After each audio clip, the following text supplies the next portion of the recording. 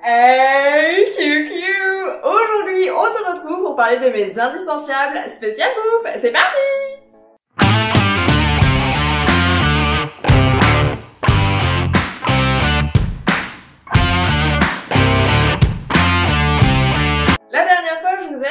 mes indispensables spécial random et là, cette fois-ci, j'ai envie de vous partager un petit peu mes indispensables spécial bouffe que j'achète depuis des années, ce que j'achète à chaque fois que je vais en course et dès que j'en ai plus, et ben ça va plus en fait, tout simplement. C'est vraiment une catastrophe pour moi. Il y a pas mal de produits, vous allez pas être surpris parce que j'en parle énormément lors de mes produits terminés spécial bouffe, donc vraiment, il y aura pas vraiment de surprise dans cette vidéo.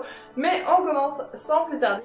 Le premier produit que j'achète à chaque fois, ce sont les patates surgelées. Tout simplement, tout ce qui est frites, pommes duchesse, pommes noisettes, euh, pommes de terre rissolées, enfin en fait tout ce qui est patates en fait. J'adore la patate. Pour en manger quasiment tous les repas, franchement ça me ferait très très plaisir. Enfin, je mange quasiment tous les repas d'ailleurs. Mais bon bref, quoi qu'il en soit, les patates surgelées, j'en achète vraiment depuis moult temps. C'est vraiment un indispensable pour moi parce que au moins ça vous cale bien l'estomac rapidement et euh, ça bien sur tout au long de la journée.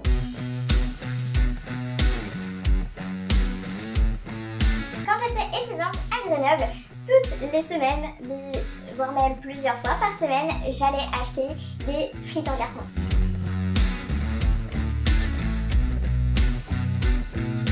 Fait, les frites en carton, c'est tout simplement les frites McCain qu'on met au micro-ondes. Je vous mettrai une petite illustration euh, de, bah, de ce dont je suis en train de, parler. Mais vraiment, en fait, ces frites, j'en ai mangé des kilos et des kilos. J'en mangeais même pour le 4 heures. J'avais ma petite technique spéciale dans le micro-ondes, c'est-à-dire que je la mettais plus longtemps que ce qu'il fallait mettre, comme ça c'était bien doré, bien croustillante. Ah non, vraiment, bon, les, frites en carton, vraiment, c'était quelque chose. Enfin, j'étais très connue euh, de la part de mes copines pour les, pour les frites en carton parce que j'en mangeais littéralement tout le temps en fait. Donc vraiment les patates ça a toujours été euh, a toujours été quelque chose que j'ai toujours adoré. Et en fait le problème qu'il y a c'est que j'adore les frites. Mais genre vraiment quand je vous dis que j'adore les frites c'est que j'adore vraiment les frites. Surtout les, frites belges d'ailleurs.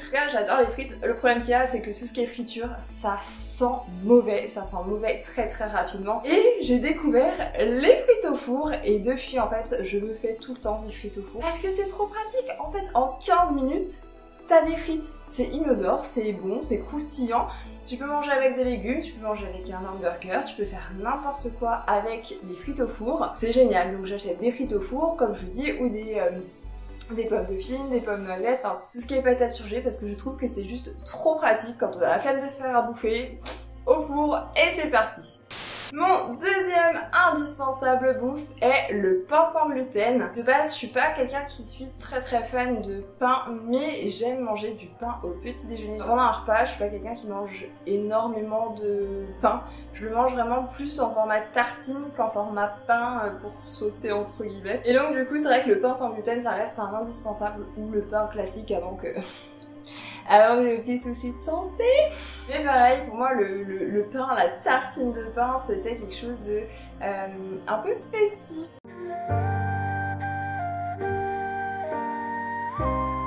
Quand j'étais étudiante à Grenoble, euh, tous les week-ends, euh, je me faisais mes tartines de pain grillé avec du beurre et de la confiture parce que toute la semaine je mangeais quelque chose d'assez d'assez rapide parce que j'avais pas le temps, j'avais pas le temps le matin donc c'est vrai que le week-end c'était jour de fête, c'était euh, la tartine de pain grillé, etc.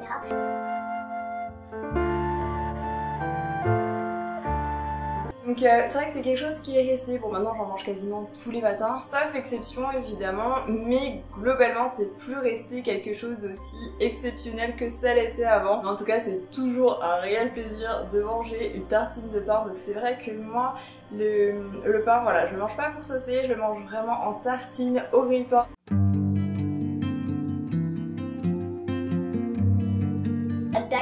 j'ai enfin racheté un grille-pain. Oui, oui, oui, c'est pas tôt, j'ai racheté un Moulinex. Alors, euh, la folie. J'avais un- une carte cadeau chez Boulanger, alors je l'ai utilisé direct pour pouvoir acheter mon petit grille-pain. Troisième indispensable bouffe, ce sont les galettes de légumes. J'ai découvert ça il y a quelques années et franchement je suis tombée in love de, ce concept. En fait j'adore manger des légumes, j'aime les légumes, c'est quelque chose que j'en ai besoin, mon corps me réclame des légumes et je suis très heureuse de pouvoir manger des légumes, sauf que faire des légumes frais, ça prend du temps, on n'a pas toujours le temps, on n'a pas toujours la motivation. Et les galettes de légumes, je trouve ça tellement pratique parce que hop, on a juste à y mettre au four avec les frites.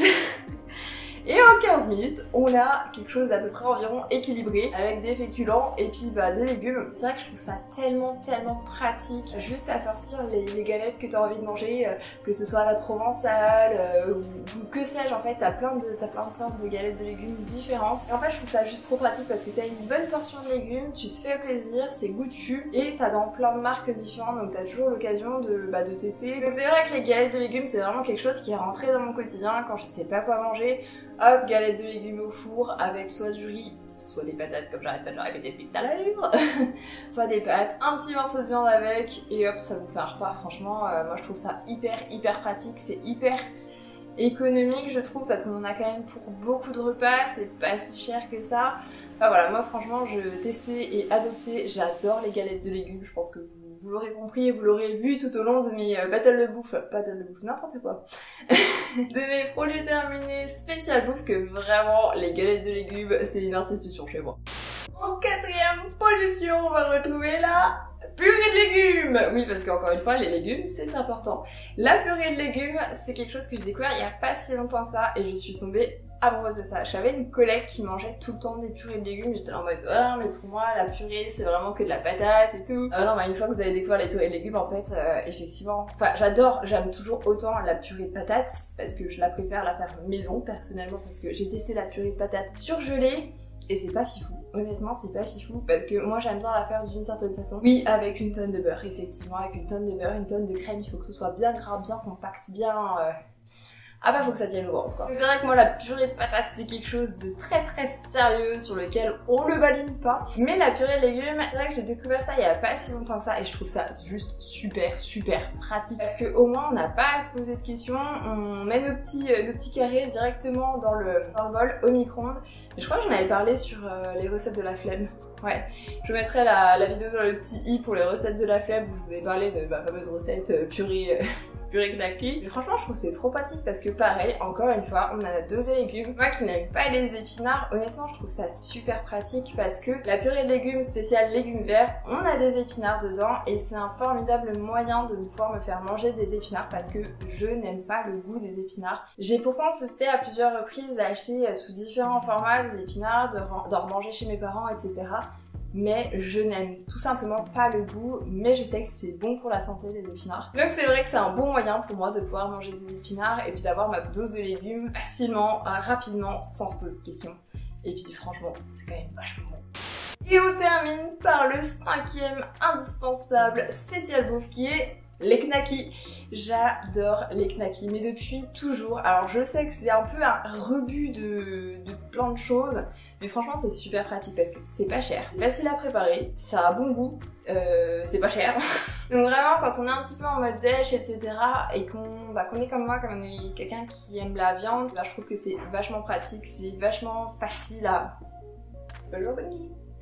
C'est vachement facile à préparer et des knacks, vous en avez de toutes sortes. Vous avez les knacks classico-classiques de chez Knacky, euh, enfin de, Herta qu'on connaît. Mais vous avez aussi euh, les knacks euh, de Strasbourg, les vrais knacks, les véritables knacks qui sont beaucoup plus élaborés, qui sont vachement meilleurs, on va pas se le cacher. Mais vraiment, moi, c'est une saucisse que j'adore. Enfin, globalement, j'adore les saucisses que ce soit le saucisse de Morteau, Chipolata, la Montbéliard, la Montbéliard. Quoi qu'il en soit, j'adore les saucisses c'est quelque chose que, que particulièrement, j'adore le saucisson, enfin voilà, j'adore tout ce qui, euh, tout ce, tout format-là, j'aime manger, j'aime manger ce genre de choses. Et c'est vrai que les knacks, c'est quand même une saucisse qui est très pratique à manger. Comme je vous dis, vous avez les knackis euh, classico-classiques. Moi, personnellement, je prends celle de Monique Ranou euh, de chez Intermarché parce qu'il n'y a pas de gluten dedans. Et elles sont très très bonnes et encore une fois c'est économique, c'est pratique. En deux minutes c'est prêt, vous avez votre dose de viande ou alors vous achetez des véritables knacks et alors là vous faites un pur bonheur. Vous n'avez pas ces morceaux de gras comme vous avez dans les saucisses classiques parce que les saucisses classiques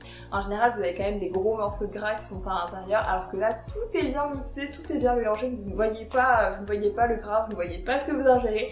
Mais franchement, les knacks, c'est génial, c'est la vie. Quand on a un petit budget et qu'on a envie de manger de la viande et qu'on a envie de se faire plaisir malgré tout, franchement, les knacks, c'est quand même vachement pratique.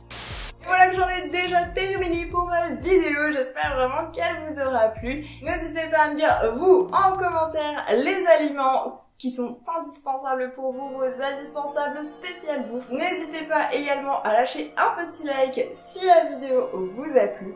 N'hésitez pas également à vous abonner si vous voulez voir ma tête dans une future vidéo. Et en attendant, je vous fais des énormes bisous. Bisous